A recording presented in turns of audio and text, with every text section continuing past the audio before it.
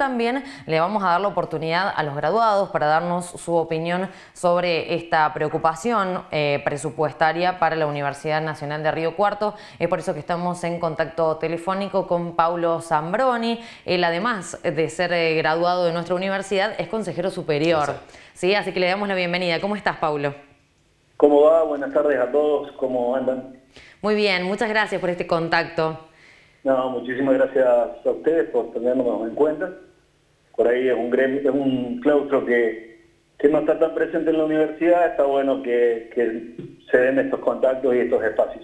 ¿Y de qué manera se están haciendo presentes justamente en esta coordinadora con una activa participación y cuál es su opinión con respecto al documento que emitieron?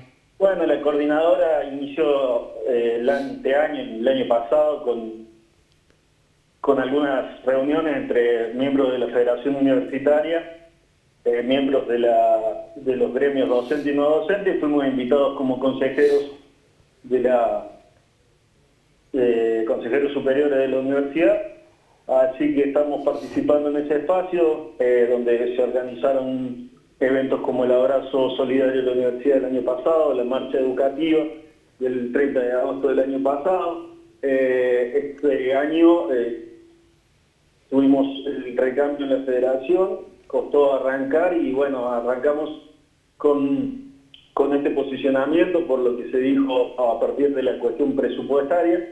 Eh, por ahí escuchamos en el, en el debate presidencial al, actual presidente decir que eh, los presupuestos en, educación y, y en ciencia han sido aumentados cuando en realidad ese aumento es solamente nominal y sin tener en cuenta la cuestión inflacionaria, eso es eh, realmente un chiste, digamos. Pablo, Marcelo Escudero te saluda, buenas tardes, ¿cómo te va? Buenas tardes. Bueno, eh, generalmente estamos acostumbrados a ver docentes, no docentes y estudiantes todos los días prácticamente en la universidad. Los graduados son por allí, en el sentido más respetuoso de la palabra, esa bisagra, ese contacto con el resto de la realidad, si cabe el término. ¿Cómo avisoran ustedes eh, el próximo escenario electoral donde, según todo lo que indican los sondeos, si se repite el resultado de las pasos, podría haber cierto alivio para el país en general respecto de la situación económica y por supuesto en ese concierto no queda fuera la educación. ¿Lo ven con cierta esperanza si bien hay un año, el primero que se supone del mandato del próximo presidente que va a implicar una salida de la crisis con mucho esfuerzo? Eh, la preocupación principal es el cargo de la deuda sobre el PBI. Me parece que ese es un tema muy sensible que va a enfrentar quien, quien ingrese a la presidencia el, 10 de diciembre, eh, con un presupuesto 2020 con un 19% abocado al pago de intereses de la deuda. Eh, lo vemos con, con esperanza, pero también con ciertos recaudos. Tenemos que estar atentos y tenemos que, eh, que ser eh, activos en la búsqueda de soluciones para, esos problemas que van a ser acuciantes para todos los argentinos. Pablo, hablabas del debate presidencial. ¿Resulta desalentador para el ámbito educativo haber escuchado eh, las palabras de seis candidatos, de entre las cuales hasta hubo una opinión de arancelar la universidad pública? Eh, sí, la verdad que llama la atención que se digan livianamente cosas como esa en cuanto a la educación, en cuanto a los derechos humanos, eh, nos parece que, eh, es muy pesado hacer caso omiso a toda la historia que ha vivido el país y que se digan representantes del país en ese sentido. Eh, no, no es fácil escuchar esas cosas eh, y bueno, el, mayor repudio en, eso, digamos. Como coordinadora, ¿se encuentran unidos, trabajando juntos? ¿Han logrado una unión entre los cuatro claustros que hoy se ve representada a través de este documento?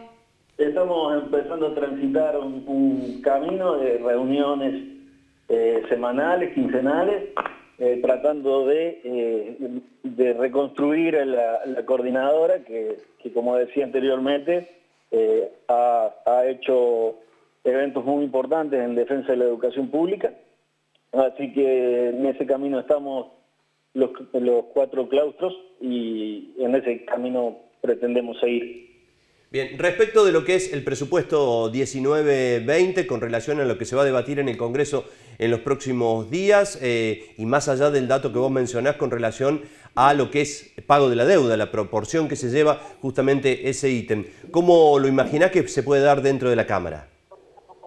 Eh, bueno, la verdad que no, no sabría eh, decirlo, decirlo muy bien, pero mm, eh, bueno, todos sabemos que, que, siempre ha habido una relación entre lo que ha sido el, presupuesto a, la educación y el presupuesto a la deuda.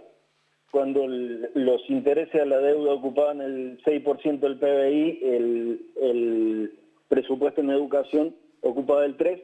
En algún momento ese, ese porcentaje se dio vuelta, 6 para educación y 3 para, para deuda, entonces que se dispare a tal punto el pago de los intereses de la deuda eh, conlleva que los gastos, los gastos, las inversiones, como preferimos decir nosotros, eh, hacia derechos, como es la educación, se vean afectados de manera casi directa.